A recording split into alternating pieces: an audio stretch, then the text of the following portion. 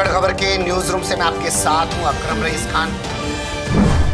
धाकड़ खबर, बेखौफ ज़ुबान, बेबाक अंदाज। धाकड़ खबर के न्यूज़ रूम से मैं आपके साथ हूँ, अक्रम रईस खान। कर्नाटक से बड़ी खबर आ रही है। येदुरप्पा ने भावुक भाषण देकर इमोशनली ड्रामा करते हुए अपना इस्तीफा दे दिया है, क्योंकि जब लगा कि शाम, दान, दंड, भेद अपनाकर कुछ भी नहीं कर सकते हैं और किसी प्रकार भी बहुमत साबित नहीं कर सकते हैं तो एक इमोशनली कार्ड खेला, एक विक्टिम कार्ड खेला। मैं ये हूँ, मैं वो हूँ, मैं फलाना हूँ, मैं ढिकाना हूँ, ऐसे करके बोला और फिर अपना इस्तीफा दे दिया। अब वहाँ जेडीएस और कांग्रेस की सरकार बनने जा रही है।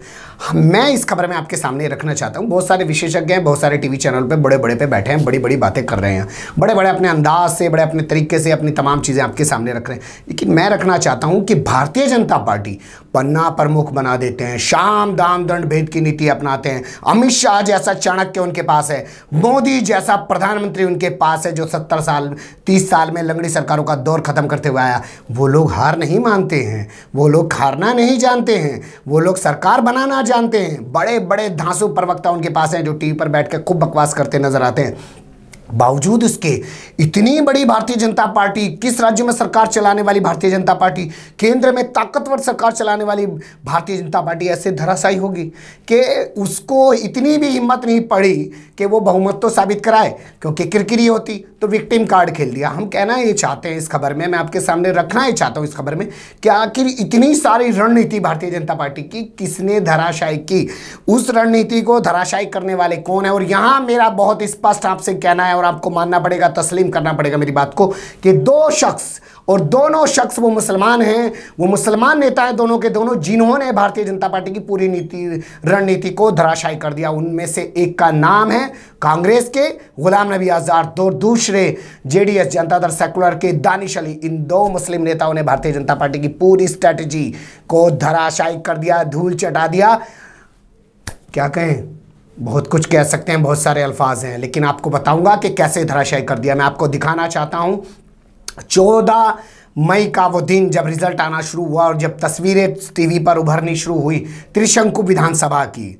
त्रिशंकु विधानसभा की जब तस्वीरें उभरनी शुरू हुई तो यहीं से इन दोनों मुस्लिम नेताओं ने पूरा ये चक्रव्यूह रचना शुरू किया और यहाँ से चक्रव्यूह की शुरुआत हुई, जिसमें भारतीय जनता पार्टी का हर हथकंडा, शाम, दान, दंड भेद ED CBI NIA police income tax सब धराशायी हो गया, जो हर हथकंडा अपनाना था, सौ करोड़ सब धराशायी हो गए, कोई हथकंडा नहीं चल पाया। खूब दिखाया गया, भोपू मीडिया का भी हथकंडा नहीं चल पाया। भोपू मीडिया खूब अपनी दलाली में लगा रहा, खूब अपनी चाटुकारी में लगा रहा, नफरत फैलाने में लगा रहा, तमाम चीज़ें दिखाने में लगा रहा। हर वक्त ये दिखा रहा, देखो कांग्रेस अपने विधायकों को कैसे बचा बचा के भाग रही है। देखो जीडीएस अपने विधायकों को कैसे कैसे बचा बचा के भाग रही ऐसे दिखाता रहा, लेकिन सारी रणनीति धराशायी कर दी।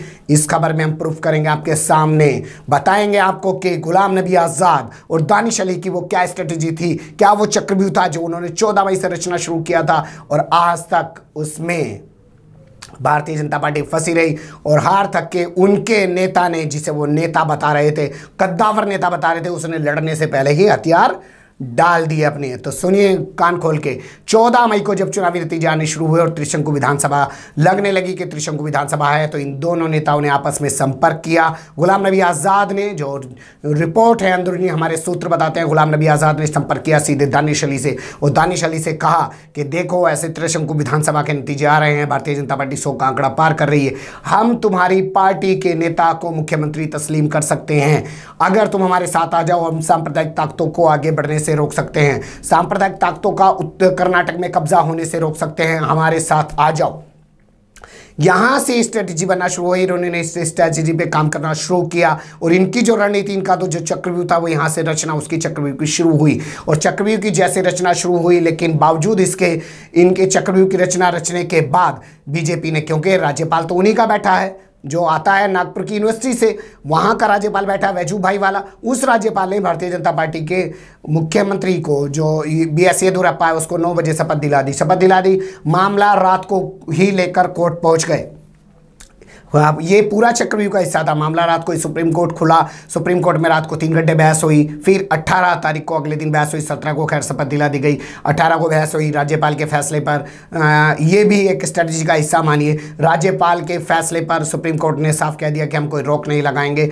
सही ये होगा कि राज्यपाल ने जिस तरीके से शपथ दिलाई है तो राज्यपाल अब जिन्होंने शपथ ली है वो बहुमत साबित करके दिखाए। और चार तारीख तक का टाइम दे दिया कि चार तारीख की शाम तक उन्नीस की चार की शाम तक आपको बहुमत साबित करना होगा। उससे पहले ही इन्होंने जो प्रोटेम स्पीकर बनाया, उसको लेकर फिर से कांग्रेस जो है सुप्रीम कोर्ट पहुँच गई, क्योंकि कांग्रेस जब सुप्रीम कोर्ट पहले मामले में पहुँची थी, तब भी कांग्रेस ने कहा था कि हम चाहते हैं पूरे मामले की वीडियोग्राफी हो, तभी पारदर्शिता आएगी, नहीं तो अंदर किसी तरीके से शाम, दाम, दंड भेद का हथकंड अपना कर किसी भी तरीके से भारतीय जनता पार्टी सरकार बनाने की कोशिश कर सकती है। लेकिन हुआ यही, कांग्रेस की स्ट्रेटेजी काम आई, वो गई तो थी प्रोटेम स्पीकर के लिए, लेकिन वहाँ से एक गाइडलाइन जारी हो गई सुप्रीम कोर्ट की, और वही इस केस की सबसे बड़ी इस पूरे मामले की सबसे बड़ी कर्णधार बनी कांग्रेस के लिए, जेडीएस के लिए। सुप्रीम कोर्ट ने कह दिया कि लाइव स्ट्रीमिंग होगी। पूरे के पूरे मामले के लाइव टेलीकास्ट किया जाएगा। तमाम रीजनल चैनल जो हैं, वो लाइव टेलीकास्ट करेंगे। विधानसभा के अंदर का कब क्या हो रहा है विधानसभा में?